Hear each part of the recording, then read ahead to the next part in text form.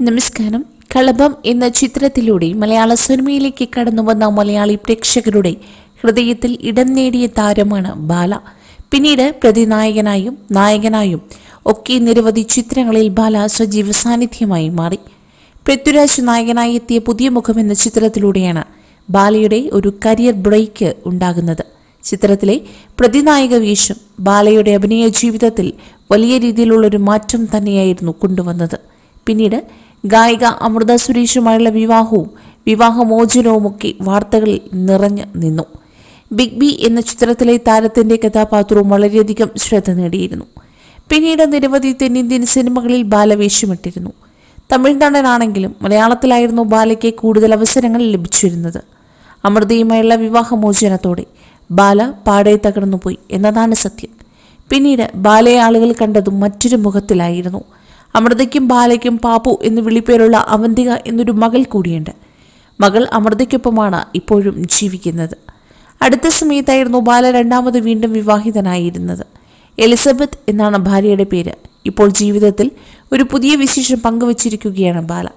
തരം സംവിധാനം ചെയ്ത ഹിറ്റ് ലിസ്റ്റ് എന്ന സിനിമ ശ്രദ്ധ നേടിയിരുന്നു. ഇപ്പോഴിതാ രണ്ടാമതൊരു സിനിമ കൂടി സംവിധാനം ചെയ്യാൻ പോവുകയാണ് ബാല എന്ന വാർത്തകളാണ് പുറത്തു വന്നുകൊണ്ടിരിക്കുന്നത് നടിപ്പിൻ നായകനായ സൂര്യയായിരിക്കും ഈ സിനിമ നിർമ്മിക്കുന്നതെന്നും അറിയുന്നു.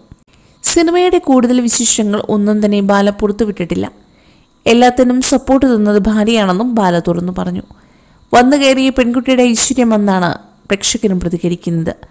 സാമൂഹിക മാധ്യമങ്ങളിൽ എല്ലാം തന്നെ ബാല സജീവ സാന്നിധ്യവുമാണ്. തന്റെ വിശേഷങ്ങൾ എല്ലാം തന്നെ ആരാധകർക്ക് മുൻപിലേക്ക് ബാല എത്തിക്കാറുണ്ട്. എലിസബത്ത് ഗർഭിണി കൂടിയാണ്. കുടുംബത്തിലേക്ക് ഒരു പുതിയ അതിഥി കൂടി വരവേൽക്കാൻ തയ്യാറെടുക്കുകയാണ് ബാല. ജീവിതത്തിൽ ഒരുപാട് വേദനകൾ അനുഭവിച്ചതിന് ശേഷമാണ് ബാല ഇപ്പോൾ സന്തോഷകരമായ ഒരു കുടുംബജീവിതം നയിച്ചുകൊണ്ടിരിക്കുന്നത്. അമൃതയുമായുള്ള വിവാഹമോചന ശേഷം നിരവധി വർഷം ബാല ഒറ്റയ്ക്കൊരു ജീവിതം നയിക്കുകയായിരുന്നു. എന്റെ അമ്മയുടെ ആഗ്രഹമായിരുന്നു എനിക്കൊരു കൂട്ട് വേണമെന്ന് വിവാഹത്തെക്കുറിച്ച് ബാല പറഞ്ഞത്. എലിസബത്താണ് പ്രപ്പോസ് ചെയ്തതെന്നും ബാല തുറന്നു പറഞ്ഞിരുന്നു. ഇരുവരും ഇപ്പോൾ വളരെ സന്തോഷം നിറഞ്ഞ ജീവിതമാണ് നയിച്ചുകൊണ്ടിരിക്കുന്നത്.